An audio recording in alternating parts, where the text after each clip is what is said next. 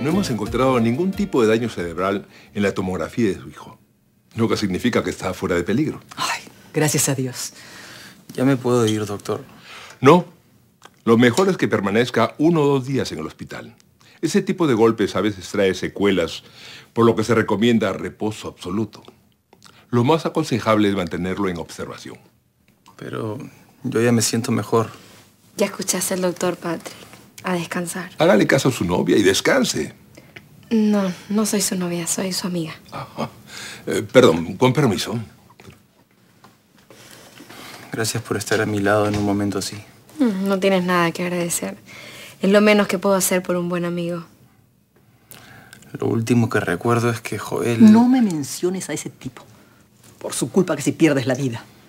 Mamá, tampoco exageres. Bueno, una buena temporada en la cárcel le enseñará con quién no se debe meter. ¿En la cárcel? Lo siento, Fernanda, pero tu esposo va a tener que pagar por el daño que le hizo a mi hijo. Pero, señora Frida, yo sé que lo que hizo Joel estuvo muy mal, pero de ahí a meterlo preso. Joel ya está preso. ¿Qué? ¡Ay, inocente!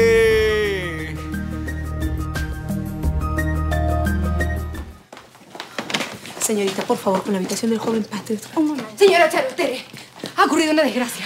Joel está preso. Por eso estamos aquí, Fernanda. Fernanda, ¿tú qué haces acá? ¿Por qué no estás con tu marido? Porque me acabo de enterar, Tere. ¿Ustedes lo han visto? Por supuesto que sí. La mamá de Patrick le ha interpuesto una demanda y están pidiendo 10 años de prisión para mi hijo. ¿10 años? Tienes que hablar con esa mujer. Eres la única que puedes hacerla recapacitar, Fernanda. Está bien. Yo no estoy dispuesta a concederle ningún favor al hombre que trató de matar a mi hijo.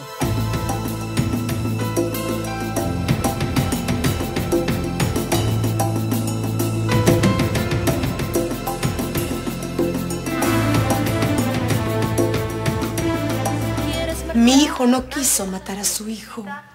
¿Cómo lo sabe? ¿Estuvo ahí? Señora Frida, Joel puede tener todos los defectos que usted quiera, pero no es un asesino. Eso lo va a determinar la justicia. ¿Cómo se encuentra su hijo? Bien, gracias a Dios solo tuvo un fuerte golpe en la cabeza. Bueno, eso quiere decir que en un día o dos usted lo tendrá de regreso consigo en su casa. En cambio yo, señora, estoy a punto de perder a mi hijo. Si usted no retira esa demanda, él va a pasar 10 años en la cárcel y no se merece una cosa así. Su hijo estuvo a punto de matar a mi hijo. Y eso es algo que yo no voy a pasar por alto. Señora Frida, yo he estado acompañándola todo este tiempo y sé por lo que ha estado pasando. Pero gracias a Dios todo fue un susto. Patrick va a estar bien. Joel se equivocó. Yo sé que lo que hizo estuvo mal, pero no justifica que pase 10 años de su vida en la cárcel. Señora Frida, le suplico... Mira, por- Fernanda, vamos a separar el tema personal de laboral. Tú como profesional te manejas muy bien. Pero en cuanto a lo personal, tu vida es un desastre por culpa de ese tipo con el que estás casada. Y ahora, si me disculpan, voy a ver cómo está mi hijo. ¡Un momento! Todavía no he hablado yo.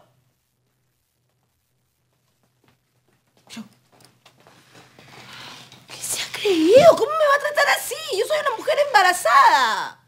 Ah, no, la voy a poner en su lugar en este No, no, momento. no, no, no, Tere, Tere, Tere, vas a empeorar las cosas. La señora Frida está muy molesta. No creo que hoy consigamos nada. Y mientras tanto, ¿yo qué? ¿Tengo que resignarme a ver a mi hijo en la cárcel?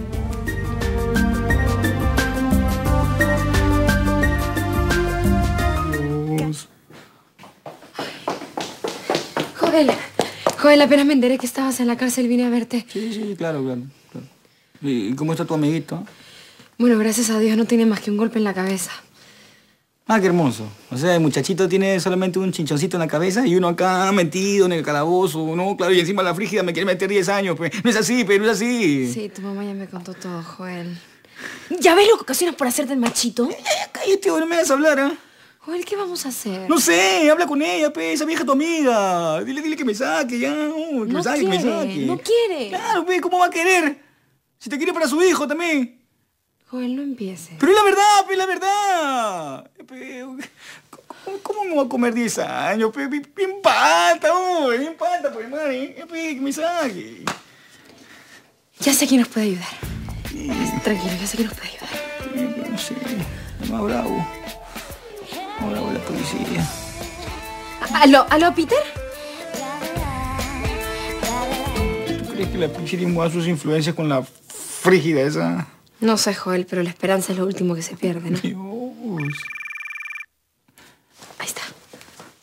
¿Aló, Peter? ¿Qué? ¿Cómo? No, pero ah, tiene que haber algo que se puede hacer. ¿Que, que ya hiciste todo? ¡Aló, Pixeris! ¡Pixeris! Dile a la frígida esa. Ahí está, mira, mira. Sí, acá la vida está dura, oye. Mira, dile, dile. Dile que, que, que, que, me suelte o si no la vas a dejar sin chiquitingo de por vida, pe. Ahí sí te atraca en una. Claro. Pixeris. Pi- Pixeris. Hasta que me cortó, oye. ¿Cómo no te va a cortar después de la barbaridad que le acabas de decir? Tú no escarmientas, ¿no? Ay, ahora quién podrá defenderme.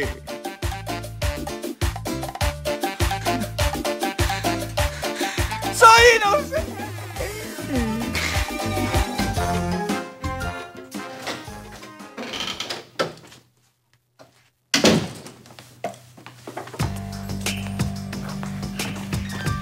Así que tú eres la secretaria de Nicolás.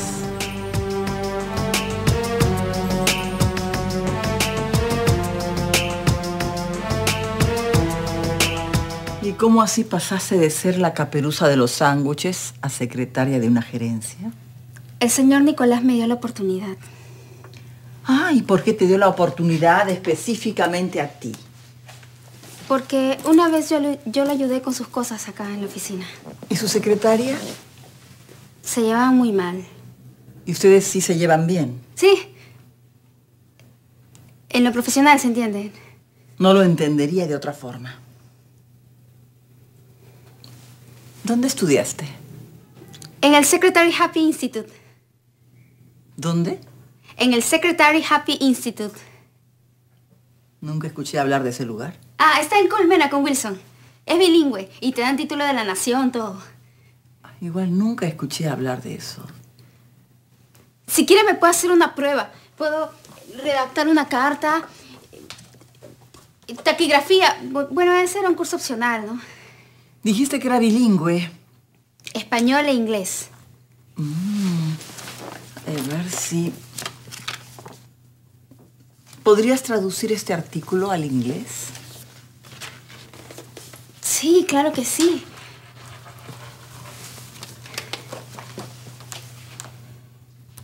¿Para cuándo lo quiere? Ahora mismo.